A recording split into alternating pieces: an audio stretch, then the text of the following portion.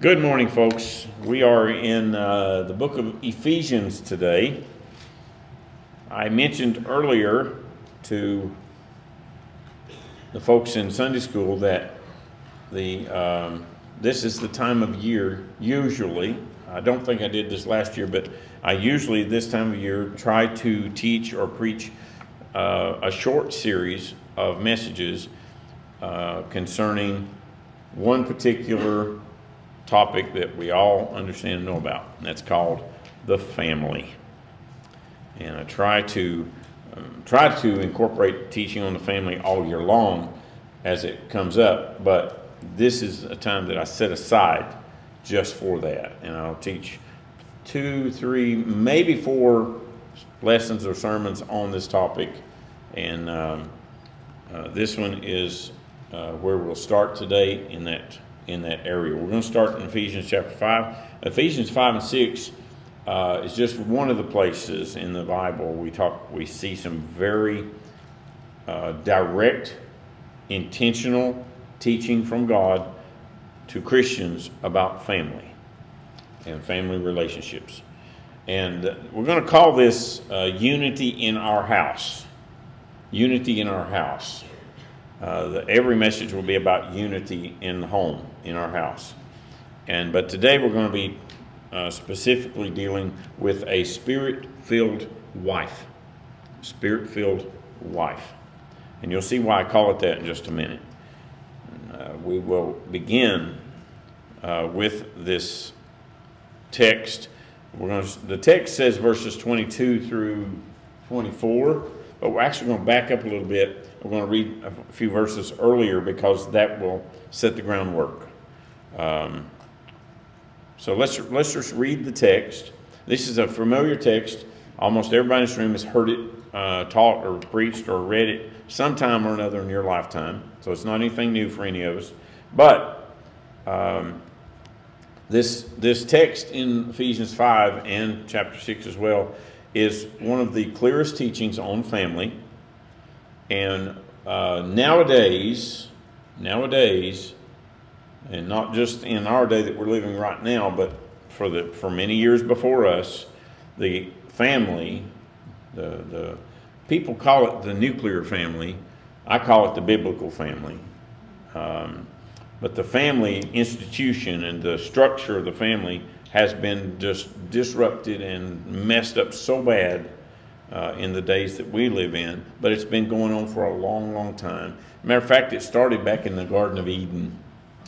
Satan tried to destroy the family. As soon as God set up marriage and God set up the family, Satan tried to destroy it. And Adam and Eve got kicked out of their house uh, because of their disobedience to God. Uh, Adam and Eve's first sons, one killed the other.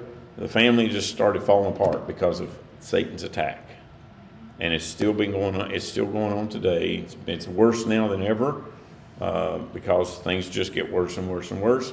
But the closer we get to the rapture of the church, the closer we get to the Lord coming back, and the closer we get to the tribulation period and Satan coming and setting up his kingdom on the earth for seven years, the closer we get to all those events happening, the worse it is going to get. I know I say that a lot, but I do it intentionally because I believe the scripture points that way and shows us that things are getting worse and worse for a reason, not just because people are worse.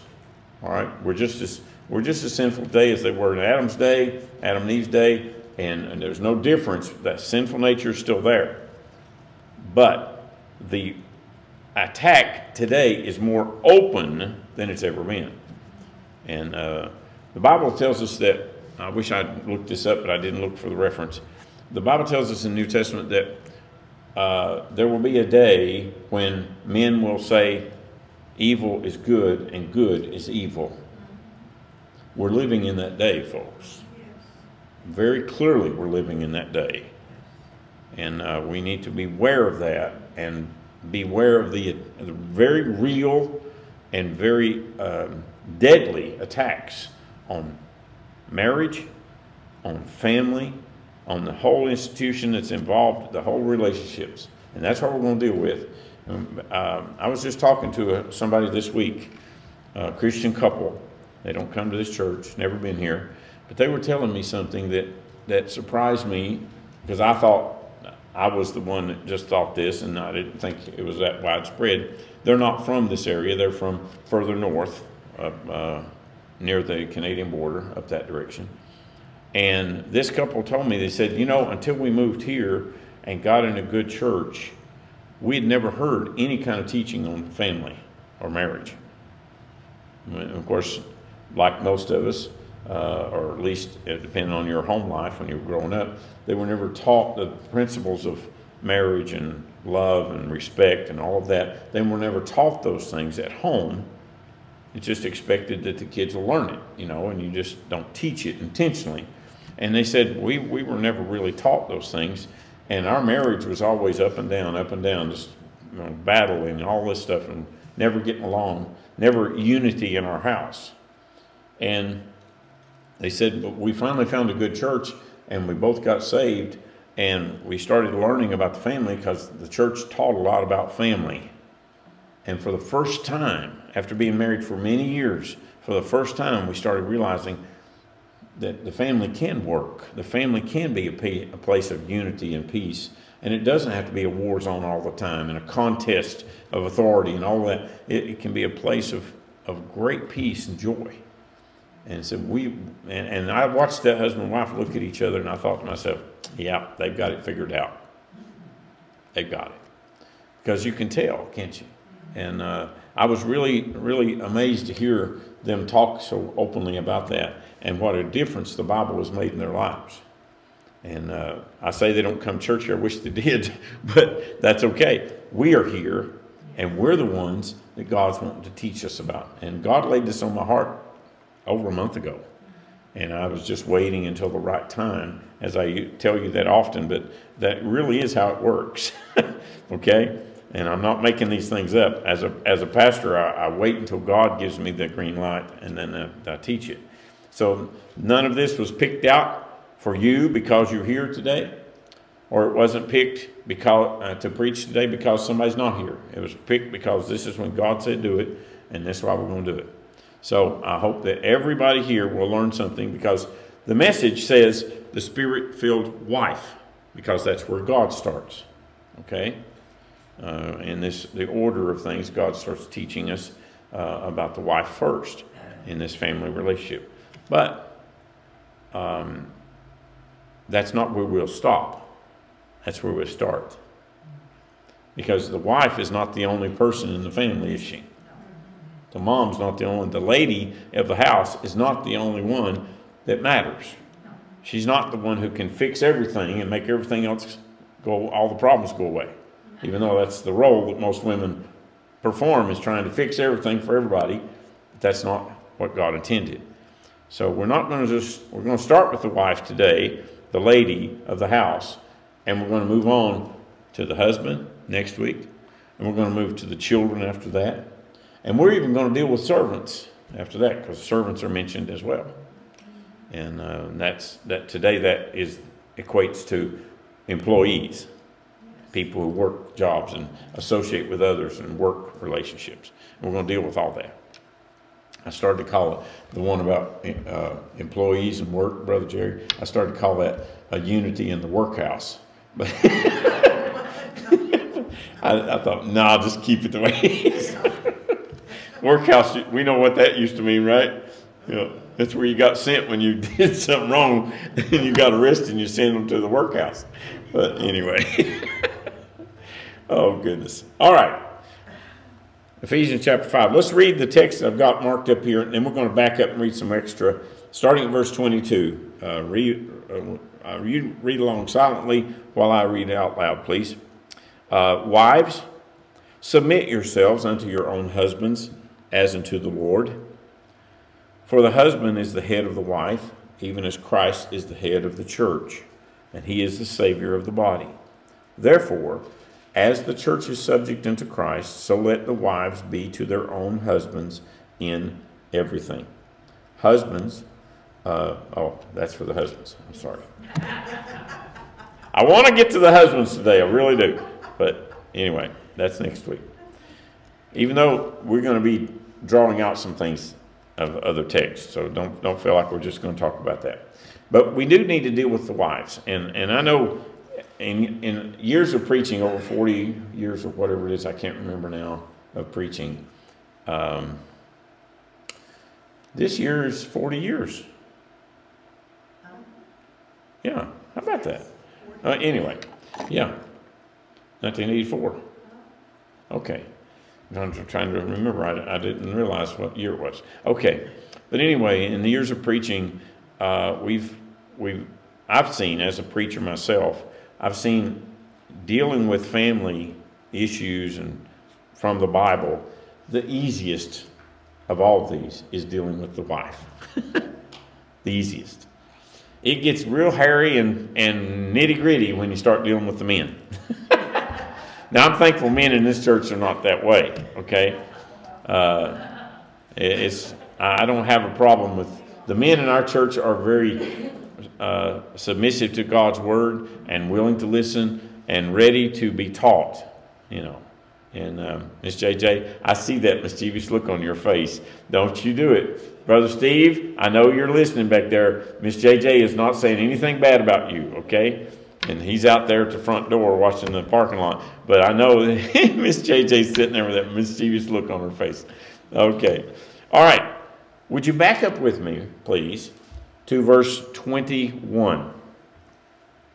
Verse 21. Verse 21 says, submitting yourselves one to another in the fear of the Lord. So the verse before dealing with the wives talks to everybody. And the word submit is mentioned. Submission is mentioned. And uh, these, this is a very important thing that we understand uh, before we go any further. And we are, I'm going to spend a lot of time in this message just defining submission, what it's not and what it is. Because a lot of people get the wrong idea. One day, I was at work, brother, and there's this so called preacher who visits where I work. I've told you about him one time before. He is not a friend of mine. He's a scoundrel, he's a liar, uh, he's a cheat. He's all those things that you don't think of in a preacher or a Christian of any kind. And uh, I just, I try to be nice to him, but I don't count him as a friend. I, I'm that close to counting him as an enemy because he's an enemy to God's word. He misuses scripture. And I won't tell you all the things that I've seen him do, and I've seen it with my own eyes, and I've heard it with my own ears from his own mouth.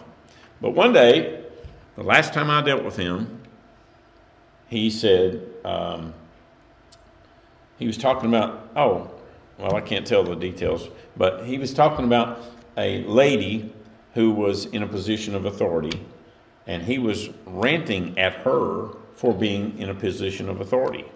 And he said, God says, his words, God says, you need to be at home washing dishes and washing clothes and taking care of your kids. You have no business being in a position of authority. That's what he said. Now, folks, my blood started just boiling.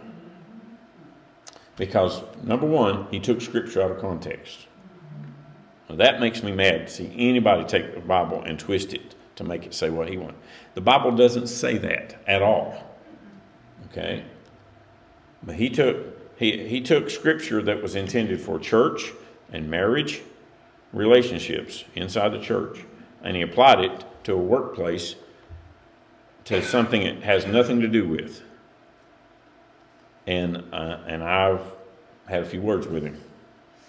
Because that doesn't, I don't, I can't, I'm not going to keep my mouth shut when somebody does something like that. If I'm in a position where I can talk, I'm going to talk. and it gave me a chance to preach a little bit.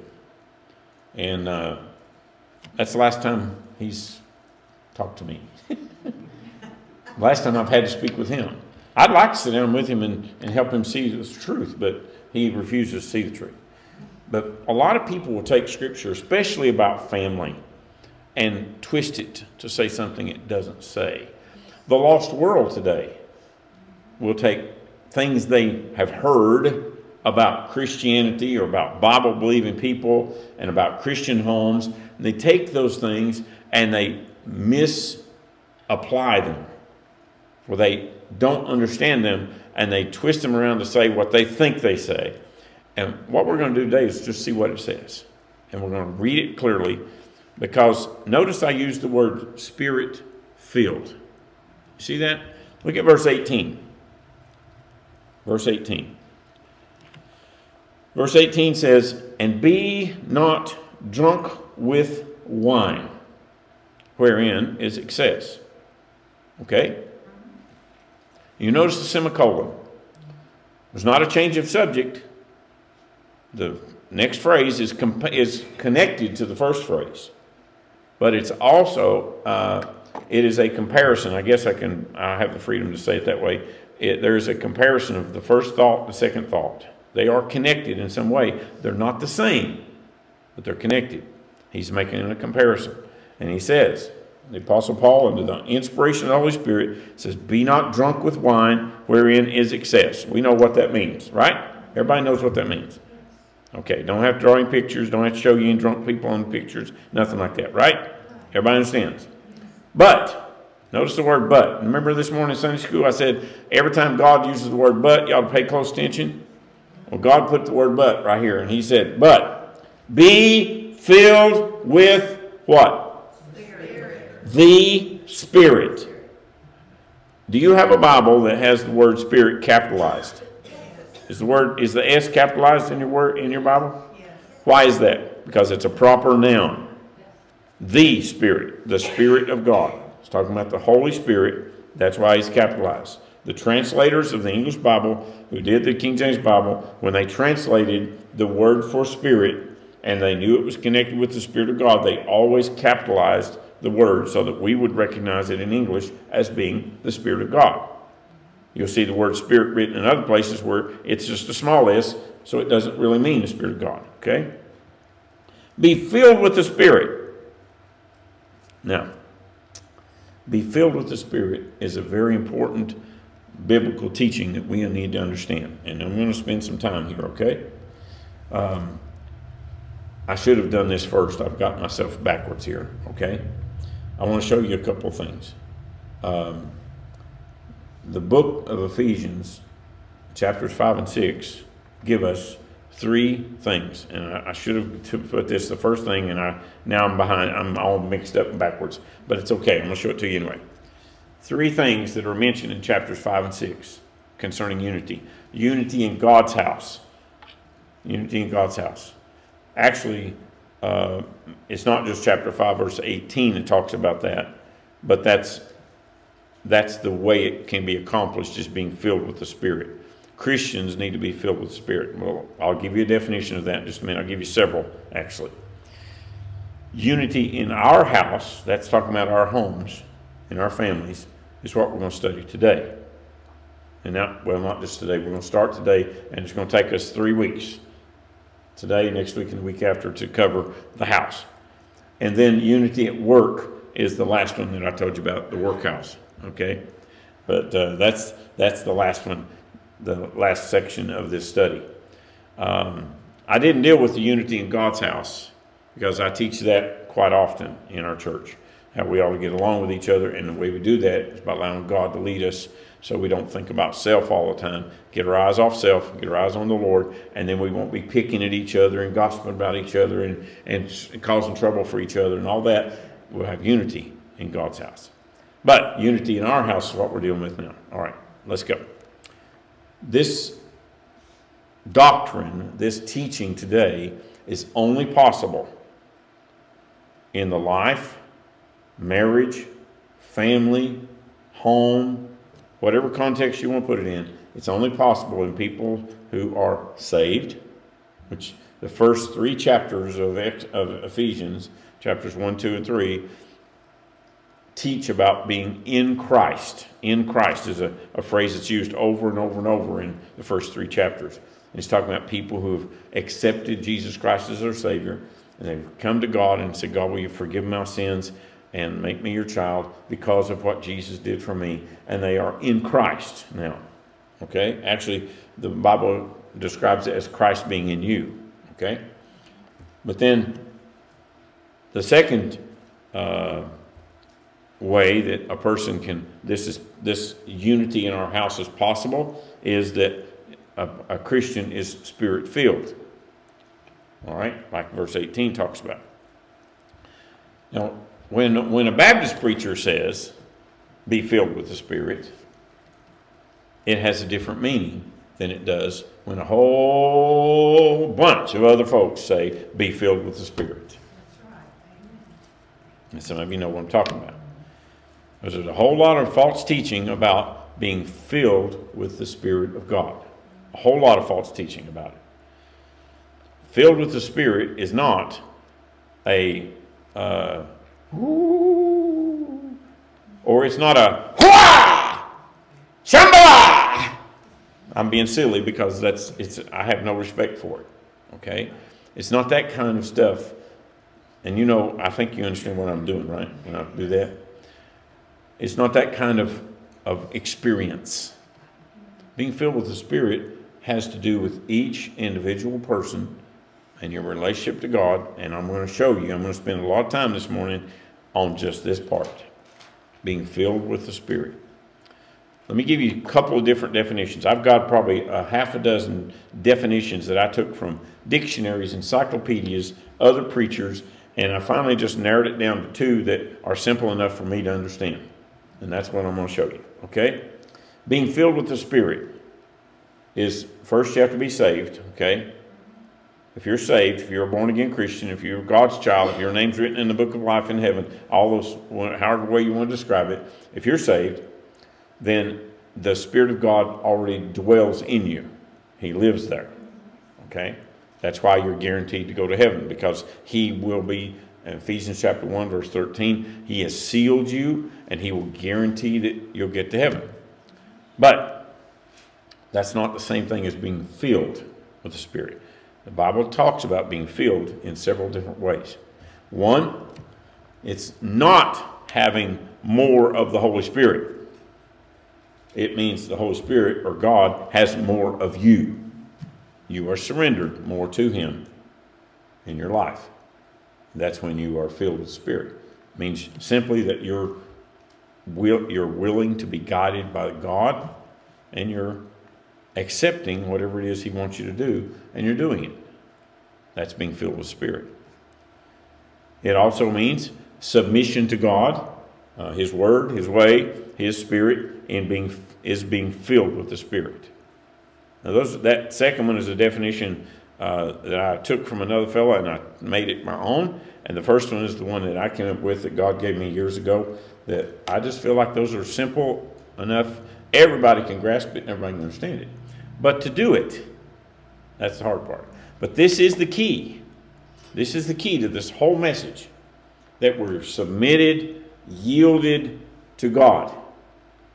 A wife, in order to be a good wife, in order to be a, a, a good lady of the house, in order to be the queen of her home, and to do it right, she needs to be filled with the Spirit of God. She needs to be yielded to God. She needs to be submitted to God and whatever His will is for her life. It's the only way you can do it. Hey, ladies, women already have a rough enough life. They already have difficulties in life that men would say, Whoa, I'm not going through that. No way. Okay? And I know men have their own difficulties too. And most women say, That's nothing. they just don't know, do they, Brother Jerry? They just don't know. Do they, brother? Do they know? No way. That's what we're going to tell them anyway. but seriously, being serious, life for a woman is already difficult. But add to that a man. Okay? add to that a man who first thinks he knows everything, second, doesn't know everything. Third, no, we won't go to the third. Anyway, there's a whole bunch of numbers, more than I can count. I know because it takes one to know one. I'm one too. But you add to that a man, and it, it complicates life tremendously. Okay? And it does for the man too. I mean, add the woman to his life, it complicates. But anyway, that's the way God intended it. And by the way, if a man adds another man to his life, that's not complicated, that's wicked. That's right, amen. Okay? And if a woman adds a woman to her life as her mate, folks, that's not that's not complicated. That's just from the devil. That's right. All right. This establishment of the home and the family, um, God established in the Garden of Eden, and God has reestablished that or re, re, reaffirmed that over and over and over and over and over and over and over in Scripture, over and over. Jesus taught it, the apostles taught it, the Bible t- teaches all the way to the end of Revelation, and we see this one man, one woman. That's right. Yeah. One man, one woman. And not not any other combination. That's marriage. That's family. That's how a family starts. All right. Now these are. Th- I know I'm preaching to the choir. You folks know all this already. Even if even if you know it and you're afraid to say it. Okay. You know it, but you don't feel the freedom to say it. There's a lot of places we go or places we are, we, we feel like we can't say those things out loud. Um, if Christians and believers in the Bible don't say it, who's going to? Amen. So, let's do our best now to quickly, as quickly as I can.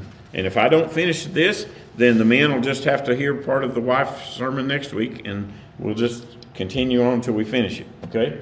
I don't want you to think I'm going to keep going until I finish. If time gets away, I'll stop. We see in verses 21 and 22 the exhortation. Remember, to exhort someone, to exhort someone is not to tell them what to do, but is to, to encourage them to do right and then help them to do it. All right? God gives the instructions. In uh, verses, verse 21, we saw we're submit ourselves one to another in the fear of the in the fear of God. Notice in the fear of God is included in that. But notice verse 22, God speaks directly to the ladies. God speaks directly to the ladies. Wives, submit yourselves unto your own husbands as unto the Lord. We are going into great detail in this teaching to take each little part of every verse. Because I don't want to leave any stone unturned. I don't want to leave any um, misconceptions or crazy ideas. I don't want to leave that in anybody's mind. Um, because this is a touchy subject. I know it is. I've dealt with it for a long time. And, and Miss Glenda, I'm going to use my dear wife as an example, and I, w- I don't want to embarrass you. I remember the stage in our marriage when Miss Glenda exhibited and showed in a, a very real way her desire to be a submissive wife. But I never said anything back because I didn't know. I was ignorant. We hadn't been taught these things growing up, and we didn't know. It didn't just come natural. It doesn't come natural. And I, we didn't understand biblical principles about marriage in our early days. But I remember when my wife started exhibiting that she started showing me that God was dealing with her long before I learned it. Long before I knew how to be a good husband, she was striving to be a good wife. And that's what God used to open my eyes and start teaching me. Course, I learned a lot slower. She learns a lot faster than I do. Isn't that true, ladies, most of the time? You don't have, don't be nice. Don't be nice. But it's true. It's true. And that's okay, fellas. It's okay. We, we learn a little slower, and it's okay if they get ahead of us. It's just fine. That's not putting us down. That just means we want to see if it works for them first. All right? So we let them go. Let them do it. Definition of submission. Okay? The definition of submission. First, I'm going to show you what submission is not. All right? Submission is not subjugation. Uh, subjugation, let me read you a, a dictionary definition. The act of subduing and bringing under the power or absolute control of another. Okay? Subjugation. Um, that is not Bible submission, not even close. Okay? That's why I chose the word subjugation, uh, because in the Bible, a wife can, may, and does appeal to her husband in any situation. Okay? She is not just allowed to think, she's encouraged to think. That's what that's God's plan. Two people.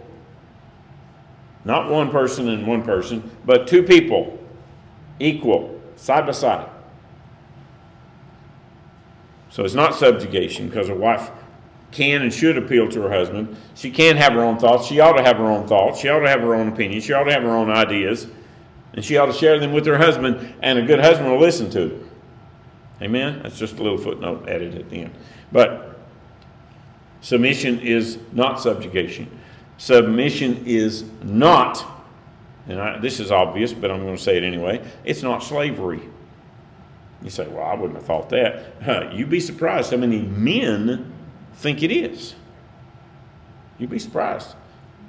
Dealing with couples and marriage people over the years, folks, I'm surprised how many Christian men get the wrong idea because they don't read all of Scripture, they only read the part they want to read. Or they listen to the preacher they want to hear who talks about it. It's not slavery. A wife is not a, a wife is her husband's equal. One's not better than the other, one's not higher than the other. Husband and wife are equal, on equal, equal standing, even ground. Okay? They're both equal. In God's eyes, God sees each as an individual and each the same value, the same standing, but just different positions, different roles of life. That's all. All right? Uh, a counterpart uh, wife and husband are to respect each other, but let's talk about just the wife today. The wife is to be respected, she is to be cherished, she is to be adored by her husband, not by everybody else's husband. Okay? We got to make sure we put that in today. Very important. She is not his slave. She is not his servant. She is not his piece of property. She's not a doormat. I heard of a husband, a guy called himself a Christian. And in the early years of his marriage, he made it a point. Now, this is disgusting, but he made it a point to think of things he could tell his wife she has to do just to make it hard for her to test her submission to him as, to him as her husband. And he, he just all the time was coming up with things to tell her she needed to do as his wife to just test her. And then when she didn't want to do something, he would rant and rave and scream and, and abuse her. He called himself a Christian. There's nothing Christ like about that. Nothing. Can, there's another source for that. That's from the devil. That's from hell. It's from sin, a sinful source. Submission is not about equality. Okay? as I said a minute ago, it's not about equality. It's, it's, uh, it's all about God's order, God's order in the family. It's all it's about. It's not about equality. We are to submit to authority in life. But it doesn't mean somebody who has authority over you is better than you, or more valuable than you, or smarter than you. All right? So it's, it's not about equality, it's simply about authority. That's all because somebody has to lead. Listen, as a pastor of a church, I have no authority over you.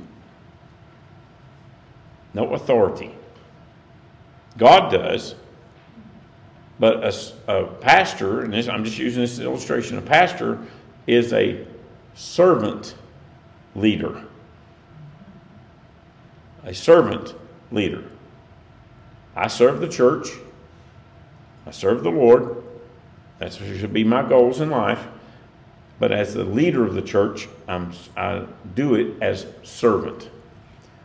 Folks, a good husband, I know it's next week or whenever, but a good husband is a servant leader. Amen? A servant leader. a leader who is leading by serving. Okay? It's very important.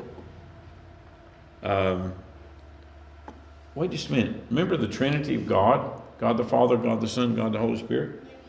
Uh, did you know that there is submission in the Trinity? God the Son is submissive to the Father.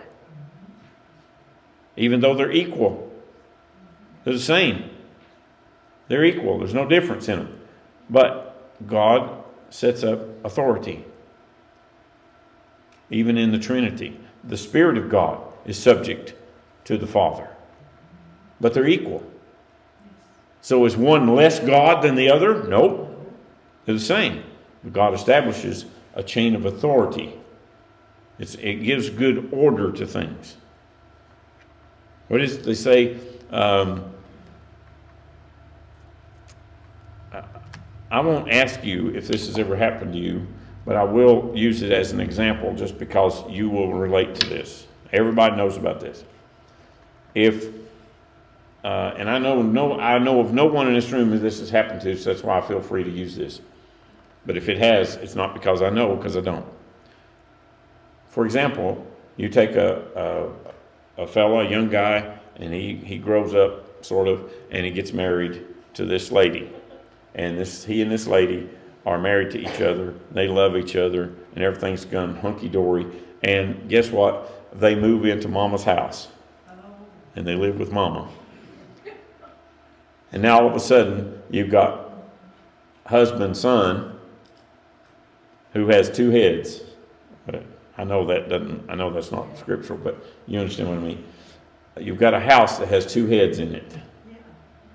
And uh, our preacher used to say, uh, a house with two heads is a two headed monster. now, I'm not criticizing mamas or mother in laws, or I'm not, that's not my purpose. I'm just saying a house can just have one queen and one king. Okay? Does that make sense? Okay, because if there's if there are two queens or there are two kings, there's going to be conflict. No matter how hard you try, no matter how well you get along, there's always sometime going to be some conflict. There, it's just natural. It's going to happen. So that's why God said that the husband is to leave his mother and father and cleave to his wife. Okay, that's the structure. That's the way it works.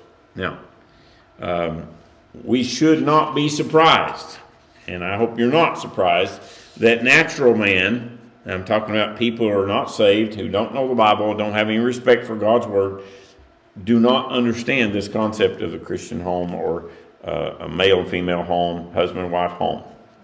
They don't understand that. That's why it's perverted. Now, submission. What is submission? Submission, we use the word submit is given to us. Look at chapter 5, verse 21. Submitting yourselves one to another in the fear of God. Submitting. Uh,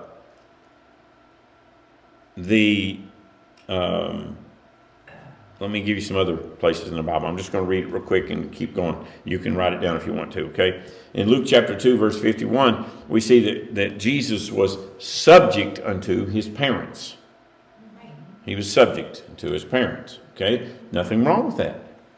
That was a good thing. He was subject to his parents.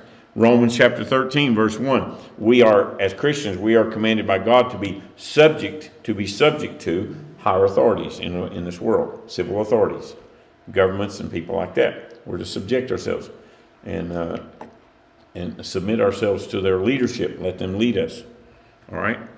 And, and I understand Romans chapter 13 is a controversial place in the Bible for people who don't want, don't like government authority. And I'm pretty close to right there with you. but as long as the government doesn't go against God's word, we're commanded by God to obey that government. Okay, and we're going to talk about that in a minute. That we uh, we do draw the line when it when it, the any authority says do something that's against God's word then you must refuse. And you have that obligation. If you want to be right with God, you disobey the authority and you obey God. And it's, there are illustrations of that in Scripture. And that applies to husbands and wives too. It really does. So, um, to be under, is it, this, this Scripture, this, the words that are translated uh, submit uh, are also translated in other ways, and I'm just going to give you the references real quick. Uh, 1 Corinthians 14, verse 34, uh, to be under obedience is the same word that's translated submit in the Greek. It, it's translated to be under obedience in 1 Corinthians 14. Uh, 1 Corinthians 15, verse 27, the same word is translated submit over here in Ephesians. It's translated under, to be under authority. Okay? Uh, the same word is translated submit over in Ephesians, is in Titus chapter 2, verse 5, is translated the word obedient. Obedient. So it depends on the context. There's a relationship between all of these words. But to be under authority, to be under uh, the rule of somebody else, to be under uh, the, the leadership of somebody else, uh, is not a bad thing. It does not mean um, that anything bad. It's in the, it's not a sense of being inferior. Wives, it's not a sense of being inferior to him. No, but it's in the sense of being under his leadership, allowing him to lead. That's all. Let him take responsibility. Let him answer to God for the family.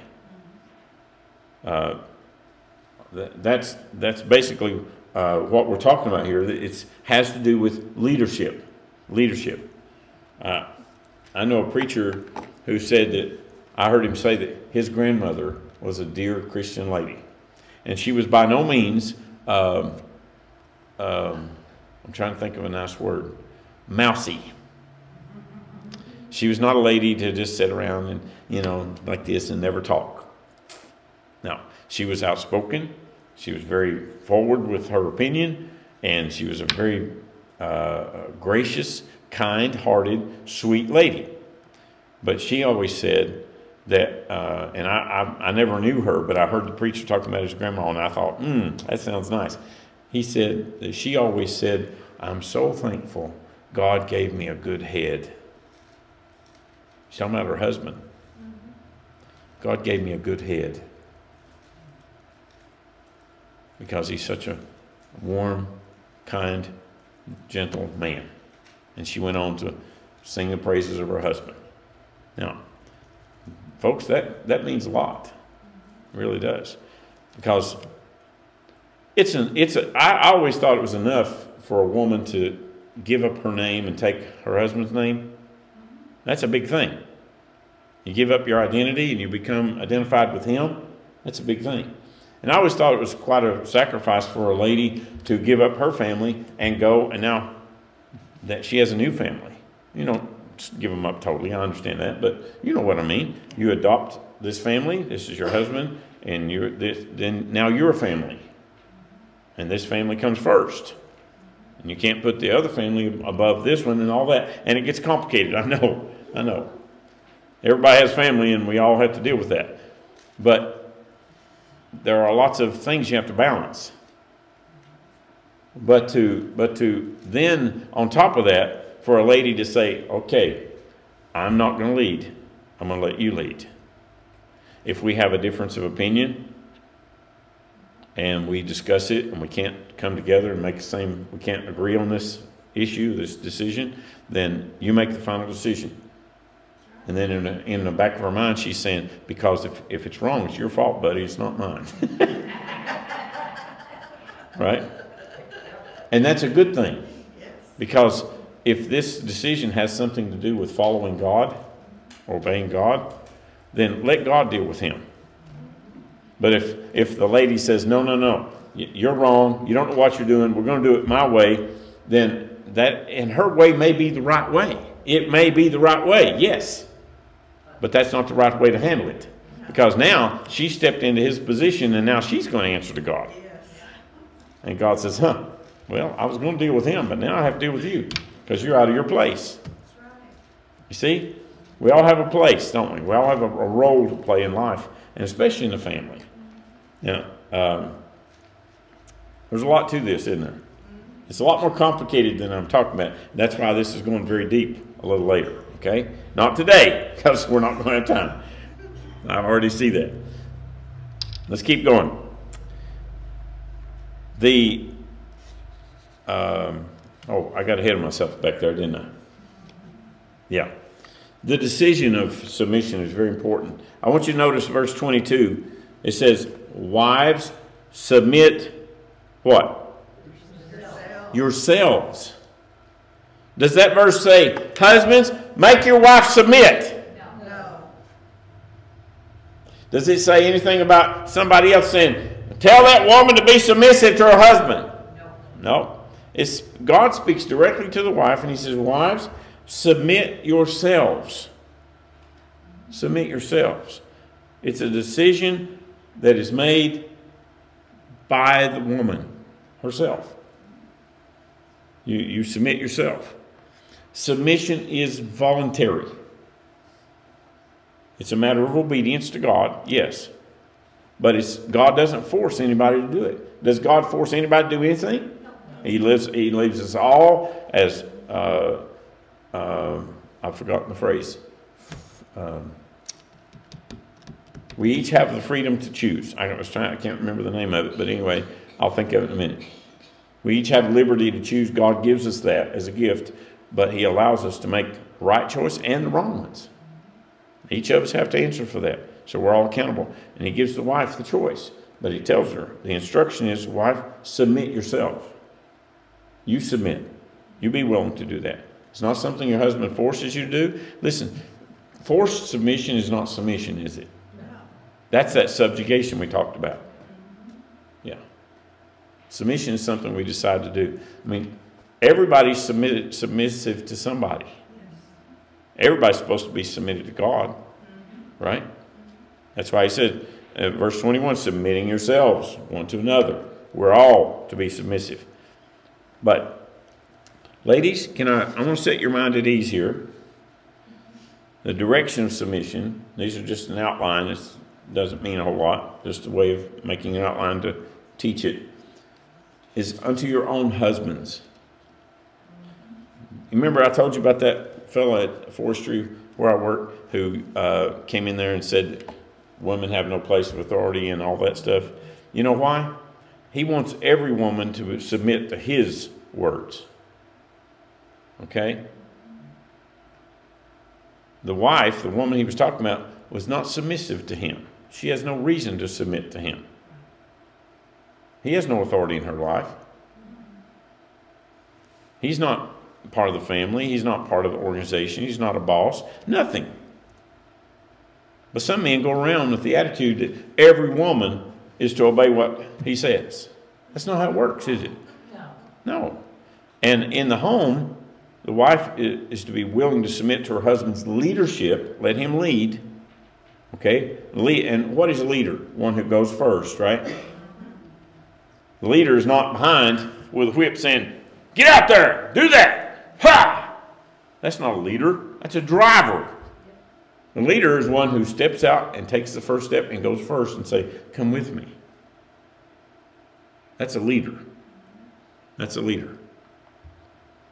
And if, I believe it's a biblical leader in the home. I believe that's what husbands are supposed to do, but we'll talk about that next time. All right? But the Bible says specifically to your own husband, to nobody else's, not to all men, but to your own husband. That's it. That's all. In the in the marriage relationship, in the home, that's the only point of submission is to your own husband. That's it. Um, hmm.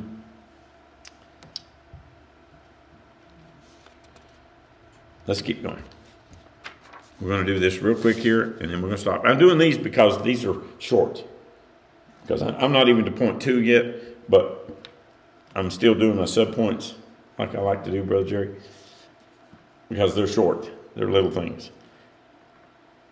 The motive to submit. Look at the verse. I told you we're taking these verses apart a little at a time.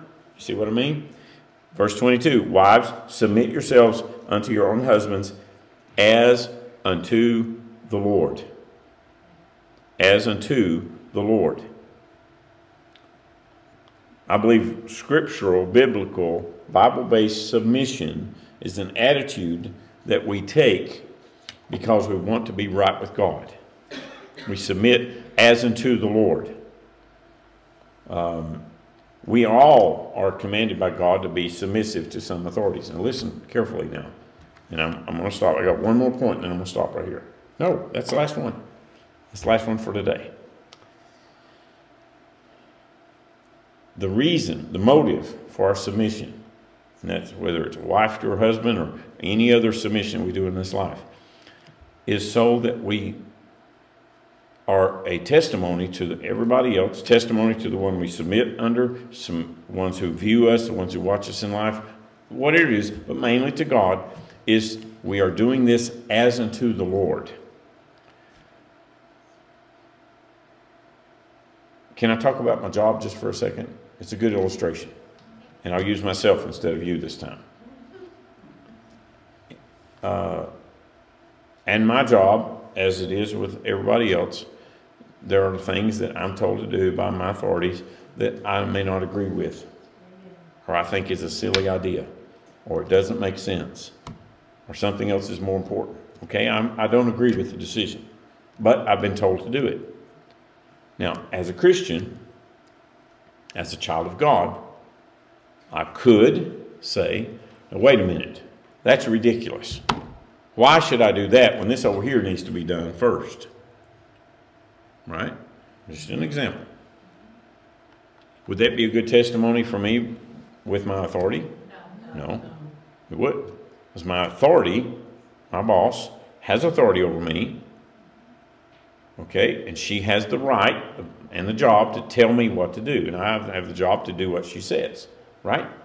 Now, but if I do this job as unto the Lord, which is the way we do everything in this life, not just marriage, but everything, as unto the Lord, then I will submit to her leadership. Now, my boss is a lady. I'll submit to that leadership because I do it as unto the Lord. I want to have a good testimony as a Christian. Has nothing to do with being, nothing to do with being a preacher. It's just a child of God. As a Christian, I want to have a testimony. I want people to see that I have a submissive spirit. I'm willing to obey when somebody has authority to tell me what to do. I'm willing to do it. As long as it doesn't go against the Bible, that's what my responsibility is to obey. And I want to have a good I want to have a good testimony with those around me that I'm a submissive employee, for example. I will do what I'm told. And I don't argue, I don't backtalk, I don't uh, throw a fit. I just say, yes, ma'am. And I do my job. All right? Whether I agree with it or not, I'll do it. Now, what if what I'm doing is not important? And the other thing over there that I thought was most important, I should have done, and turns out I was right. All right? In the end, turns out I was right. That job didn't get done, and the boss got in trouble for it because that job wasn't done and I was doing what the boss told me to do. Who's going to answer for it, for that problem? The boss is, not me. I'm just doing what I was told, right? But what if I'd said, I'm not going to do it? I'm going to do what I think is most important. hmm I'm the one that's going to answer for it. I stepped out of my position, didn't I? You see what I mean? This, this thing of submission works in every part of life. And you do it as unto the Lord. It's a good principle to live by, folks. You do it as unto the Lord, even if you don't agree with it, even if you don't like it, you do it because it's right with God to do it. Whatever position you're in in life, whatever role you play, whatever part of society you are, what part of the family you are, you take your position and you do it, and you stay in that position because that's where God put you. That's where God put me. All right? We may, not, we may not always be happy with that place or that position, but we should do it as unto the Lord. Everything you do in life, make sure it is as unto the Lord. I'm going to do this because it's the right thing to do according to what God has put me in this life to do. So I'm going to do that, even though I don't agree. I guarantee you, and I, I don't have to guarantee, I know my wife has gone along or agreed with me or allowed me to make decisions in life when I was wrong many, many times. Many, Miss Barbara. More times than I can count. I couldn't make a list long enough to fill all the bad decisions I've made in our marriage, in our lives. I couldn't, there's no way. I've made a bunch of them. And my dear wife, a lot of times, has known that it was a bad decision. But instead, of, sometimes she would, if she felt like it was something that was really important and was going to cost us or was going to be a big problem or, you know, something like that, she'll say, honey, why don't you think about this? Or wait just a minute, I'm not so sure I agree with that. Or I don't think that's the right thing to do. Or she'll just come right out and say, you're just wrong. You need, we don't need to do it that way. We need to do it this way. Now that's a pretty extreme situation. She would only do that if really it was necessary. Because that would get my attention real quick. I'd say, ooh, boy, it's that serious. Because yeah, I know her, and I know if she says that, I better wait a second. Now that there is something wrong. But if she says, well, will you think about this option? I do. I think about it. And I weigh it and I see if she's right. But sometimes, you know, if it, Miss, Miss JJ, if it has to do with uh, the choice of whether to uh, buy extra groceries or buy a shotgun, you know, I've got to, I've got to decide which one of those is the most important, you know? You know what I'm talking about. Yeah. Say, listen, folks, sometimes you just got to do what's most important and you buy the shotgun, right? But even though the wife, even though the wife thinks that's not the best option to use for that limited amount of money, she knows, but she just doesn't know everything. I do. I'm going to do it anyway, right? Uh, I, yeah. Everybody here can relate to that, right? We all we all know what that's like. Yeah. Amen. You can get food with a shotgun. That's right. And it never loses value, does it? That's right. Everything that goes bang gains in value if you take care of it. It doesn't lose value. So it's a good investment. So, see, my, my reasoning works. Oh, I know. Maybe at the right time situation. But anyway, you see the point. I know I'm talking around, around and around and around, just beating this thing up. But, folks, it, it's something we got to get hold of. It's something we really need to apply to our lives. As unto the Lord, every decision, everything you do, make sure it's as unto the Lord. You're doing it because you want to please the Lord, not because you agree or you think it's the best way, but you know that you want to be right with God. Okay? And make sure that you try to live that way. All right. We will pick up next time with more of this because we're not going to, we won't get to the men next week, but we'll probably say something about them anyway since it's Father's Day. We will talk about the men anyway. All right. And listen, around here, around here, uh, Mother's Day and Father's Day, those days, have nothing to do with whether you have children or whether you have a, a dozen children or whether you have whether you're a, a, a husband or a still single kid uh, if male or female that's all we look at okay we don't care about who's got kids and who doesn't have kids and who's married and who's not when, I, when we teach these things it applies to everybody see there's principles in here that apply to every person so there's something here for everybody, even though the topic says it's just for the wife. There's something here for all of us. So try to learn and let God teach us what we need to know. Let's pray. Dear Father, we are so thankful. I'm thankful as a pastor for these dear folks, these people sitting here listening to me. And I, I realize, Lord, I know that I ramble and, and I, I take much longer than necessary and all of that. But I'm so thankful for people uh, who are willing to listen and wanting to learn from your word, not from the preacher, but from your word. So, Lord, help us to uh, be careful to use this life that we have, each of us, this short life we're given, to use every day of it, every moment of it, in a way that honors you and pleases you. Dear Father, I pray that there's anyone in our midst today who is not saved, not certain of going to heaven when death comes.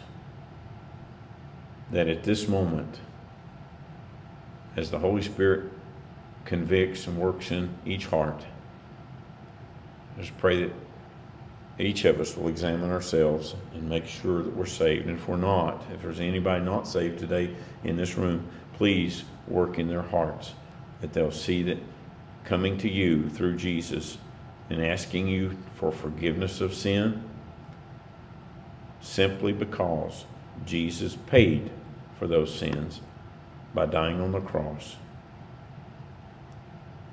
is all we need to do. Give our lives to you by, by coming to you for that reason.